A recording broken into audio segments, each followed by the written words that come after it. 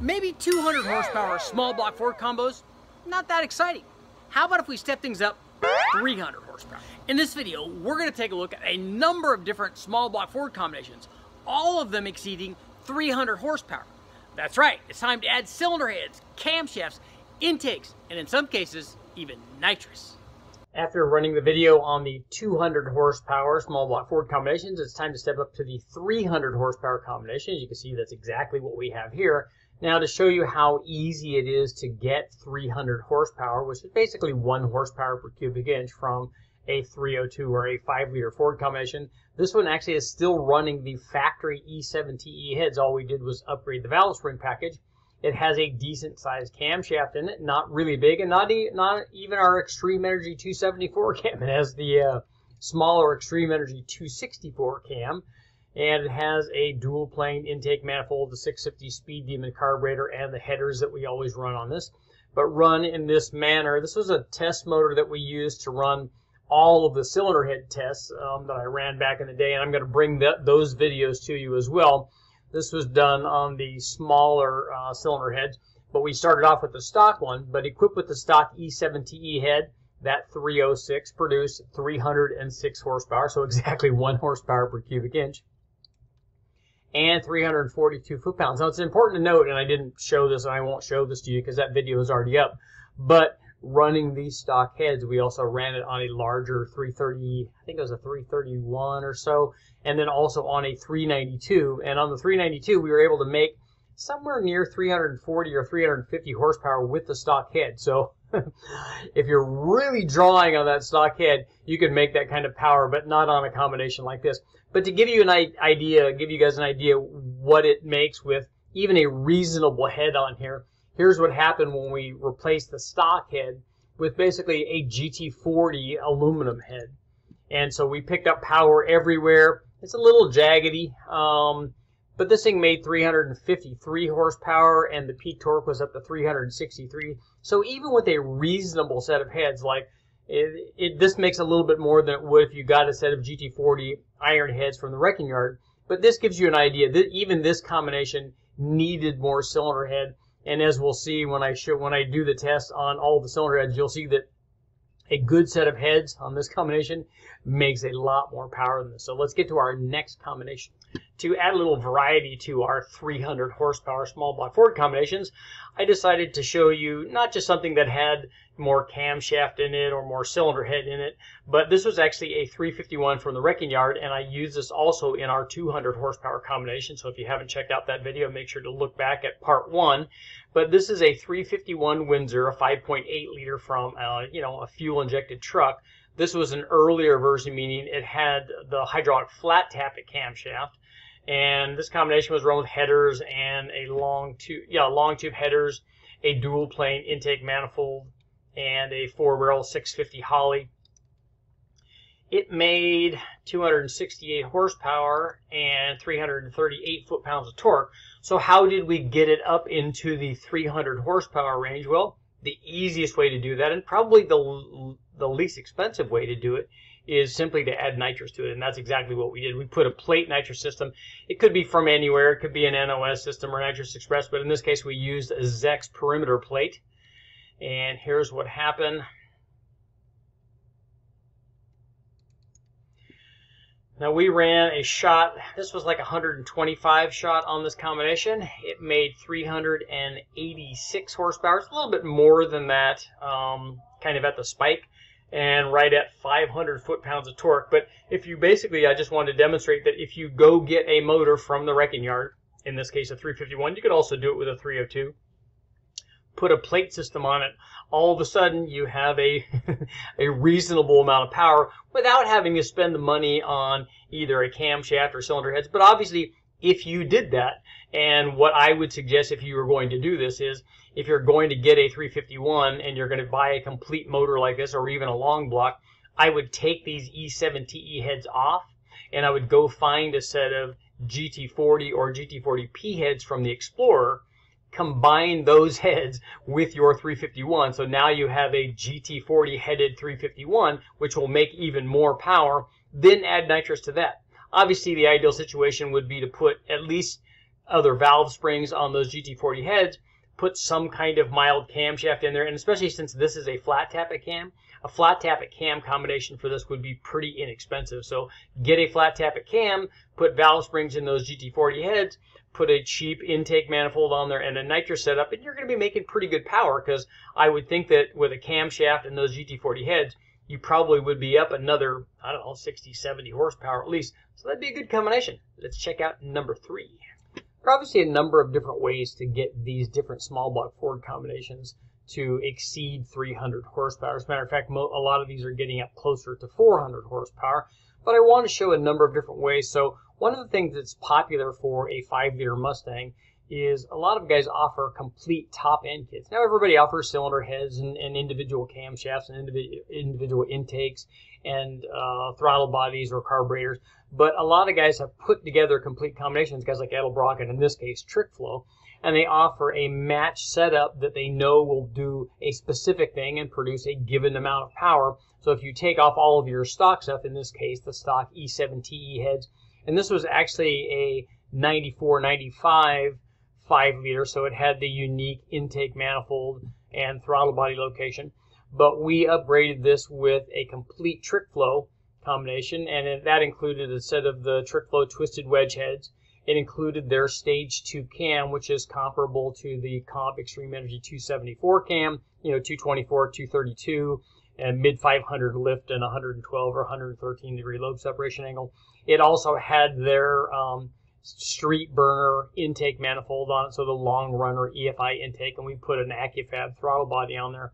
So here's what happened when we ran this thing in stock trim with long tube headers and the electric water pump, and when it was tuned, optimally tuned with the um, Holley HP management system. This thing made 258 horsepower, which we've come to expect from all of these factory 5 liter deals, and about 320 foot pounds of torque. As you can see, power fell off dramatically after 5,000 RPM, which is kind of typical of the factory HO intake manifold, both the early and late versions. Here's what happened when we installed the um, TrickFlow top end kit.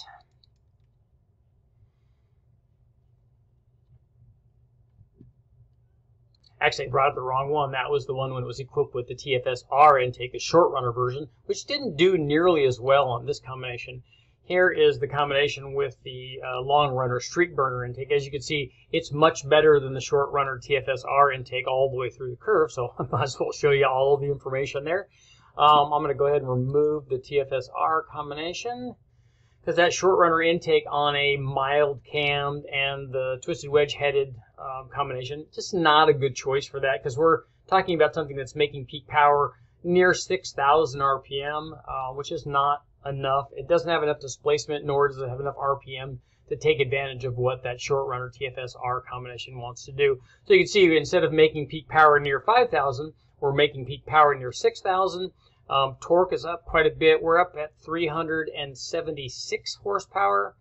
Peak torque is up at 354 foot-pounds. There was a slight loss in um, power down below 3,500 RPM. But when you do something like this, when you do heads cam and intake on a 5 liter and get the thing to rev cleanly out to like 6,500 RPM, all of a sudden your Mustang is like super fun to drive. and then what I can recommend from here, and we'll see this later on, is if you can put a supercharger or a turbo or even nitrous on this, and then it makes it even more fun. So let's take a look at our next combination. Back in part one of the 200 horsepower small block Ford combinations, I introduced you to this combination and it was a 5 liter Ford, although it did have a flat top uh, piston with valve reliefs in it. But we ran it with these stock heads, the stock intake, uh, stock HO intake, and then we upgraded it with the GT40. And I wanted to illustrate what happens. You know, this combination, that combination still made less than 300 horsepower because all we did was upgrade from the HO intake to the GT40, but it still had the factory heads and still had the factory camshaft. But to give guys an idea, and I did this because I know a lot of guys want to see step by step what happens because we all can't afford to do top end packages, and a lot of guys can't even afford to do really expensive heads. But here's what you can get to if you step up to the right camshaft. In this case, we put in the 274 cam. But there are there are obviously a lot of other good combinations. Here's what happened on our 5 liter Ford. So we started out stock with a stock intake. Then we put the GT40 in there. Then we installed the 274 camshaft. As you can see, that pushed us into the 300 horsepower range. Equipped with the 274 cam and the GT40 intake, but still with the stock heads. Obviously, this thing had headers on it, and it had a, uh, I think it had a 70 millimeter AccuFab throttle body on it as well. This thing made 312 horsepower, and torque was up to 349 foot-pounds. So this thing made over, you know, one horsepower per cubic inch because this was a 306 inch 5 liter and did well with just an intake and it was an EFI intake and the right camshaft. And the reason that I wanted to show you guys this is because the uh, last combination where we ran the stock head was a carbureted combination, and I always get that comment, yeah, but what about us EFI guys? Most guys that have 5 liter Mustangs, especially guys that are still driving around with a stock or near stock combination, we all have fuel injected motors. We want to see the fuel injected combinations, what those modifications are. So here you go. this would be the same kind of thing as if you went to the wrecking yard and picked up, uh, you know, the Explorer intake and put a camshaft in it. But if you're going to pick up the Explorer intake, get the Explorer motor, put a camshaft in that combination, then you have the intake and heads, then add the camshaft, and you will make even more power. Get to our next combination. Oddly enough, our final 300 horsepower combination did not originate from a junkyard, which is where I get all of my best stuff from. This one was actually a rebuilt 302. It was from a big rebuilder. In this case, the name of it is called Marshall Engines.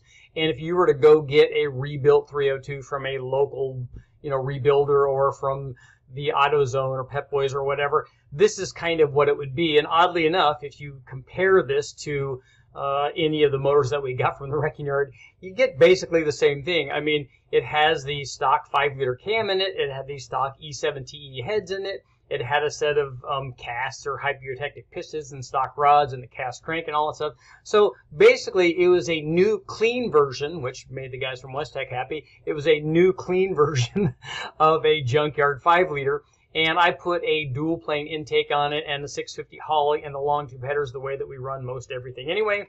And run in that manner, it produced 258 horsepower, which we've come to kind of expect and 328 foot-pounds. It actually did fairly good on uh, on torque production, uh, meaning that everything was sealed up, you know, because the rings didn't have two or two or three hundred thousand miles on them. So this combination did, did good. The one thing that I did have to do with this combination is we had to do a valve spring upgrade. It came with valve springs that would be like a stock factory valve spring, and that just does not allow much in the way of RPM potential. I can't believe how high I used to rev my 5 liter Mustang with stock valve springs in knowing what I know now, I can't believe what I got away with what I got away with back in the day.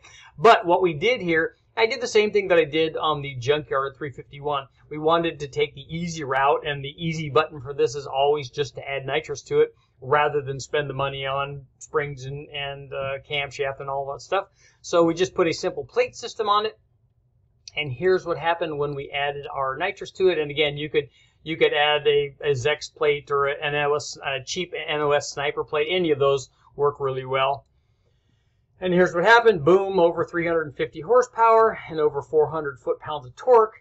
Um, the loss you guys are seeing down here, down low, down below 4,000 RPM is basically I just turned the distributor to take away. I think we took away three degrees of timing. We ran this on 91 octane pump gas and engaged the nitrous at about 4,000 RPM. And yes, you can engage it lower than that. You can engage it as low as you want. But here's one thing to think about. Since horsepower equals torque times RPM over 52, 52, the lower that you engage it, if you add 100 horsepower at 6,000 RPM, the amount of torque that you're adding is much less than if you add the same 100 horsepower at 2,000 or 3,000 RPM. So the cylinder pressure goes way up, so you have to be right on on your tune, and you have to, um, the timing retard is much more critical if you uh, activate the nitrous at lower engine speeds. But this is an easy way to do it. Take almost any motor. In this case, this one was rebuilt, but it could come from the junkyard. Add nitrous, and away you go. Now it's time to take a look at the 400 horsepower stuff.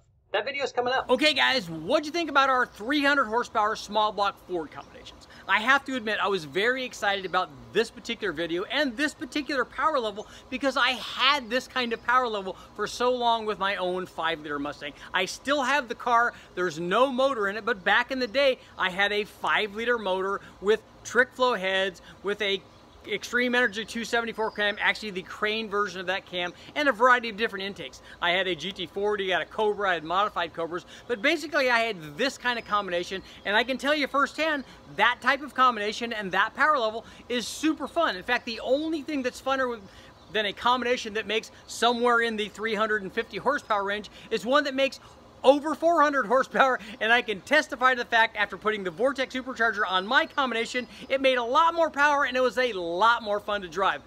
You guys keep watching, I'll keep testing 400 horsepower combination videos coming up next.